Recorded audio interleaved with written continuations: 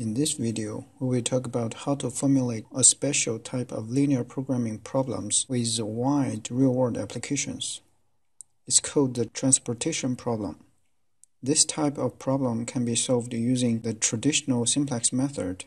However, due to their special structure, there exist specialized algorithms that are much more efficient to solve them. A typical transportation problem is to find the best solution to fulfill the needs of n demand points using the capacities of m supply points. A cost of shipping the products from a supply point to a demand point is involved. Here is an example. A manufacturing company has m is equal to 2 factories that satisfy the needs of n is equal to 3 customers. The unit shipping cost from a factory to a customer depends on the distance. For example, from factory 1 to customer 1, the unit shipping cost is $8 per product. From factory 1 to customer 2, the unit shipping cost is $6 per product, and so on. Each factory has a limited capacity. Factory 1 can supply at most 40 products per day and Factory 2 can supply at most 50 products per day. Each customer will need at least 30 products per day. For the decision variables, we define xij to be the number of products shipped from factory i to customer j. The objective function is the total cost. For example, this is the cost of shipping x11 products from factory 1 to customer 1. This is the cost of shipping X1 2 products from factory 1 to customer 2, and so on. We need to sum up all the cost components. As for the constraints, each factory has a limited capacity. The total amount of products sent from factory 1 to all three customers should be less than or equal to 40. The total number of products sent from factory 2 to all three customers should be less than or equal to 50. Each customer's demand should be met. The total number of products received by customer 1 should be greater than or equal to 30. Same for customer 2 and customer 3. This is the complete linear programming problem formulation. This is a more general form of the transportation problem formulation. The objective function is the sum of the cost matrix times the decision variables. The sum of each row is less than or equal to the supply capacity. The sum of each column is greater than or equal to the required demand. The example we explained here is also a balanced transportation problem. This is because the total supply is equal to the total demand. 40 plus 50 is equal to 90, which is equal to 30 plus 30 plus 30. This is a formulation of a balanced transportation problem. The difference between the general transportation problem and the balanced transportation problem is in the constraints. These two will be changed to the equality constraints, and the total supply is equal to the total demand. For the balanced transportation problem, there is an algorithm called the transportation simplex to solve it efficiently which will be talked about in another video. We can show the mathematical formulation in a diagram like this. These are the supply nodes, these are the demand nodes. These lines with arrows represent the transportation routes. There is a cost, Cij, associated with each route. We need to determine the amount of products, Xij, that will be shipped from supply node i to the demand node j. For this balanced problem, the total supply is 90 and the total demand is also 90.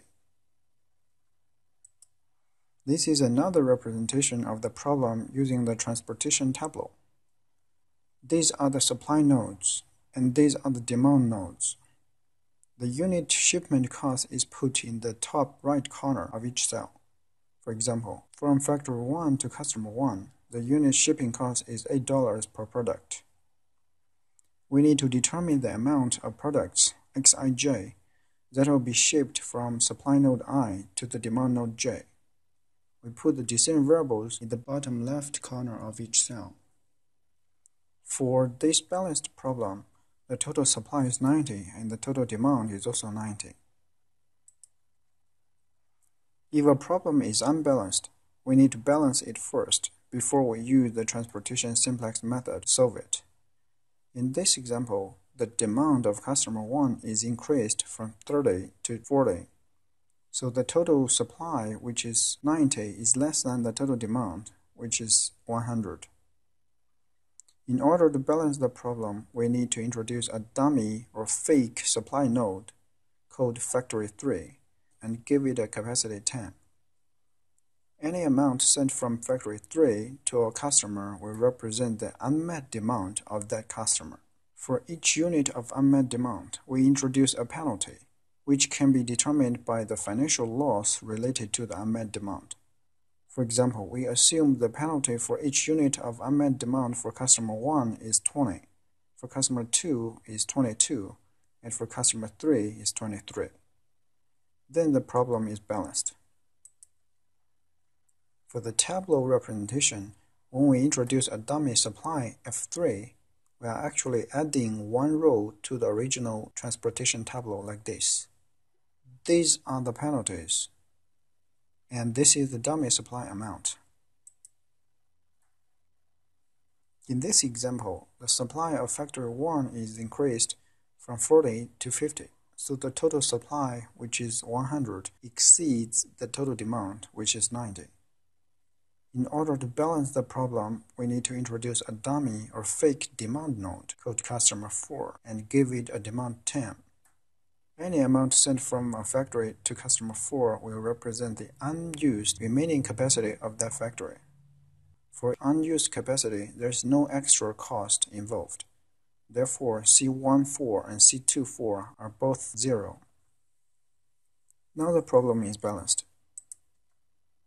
For the tableau representation, when we introduce a dummy demand C4, we are actually adding one column to the original transportation tableau like this. The unit costs are zero.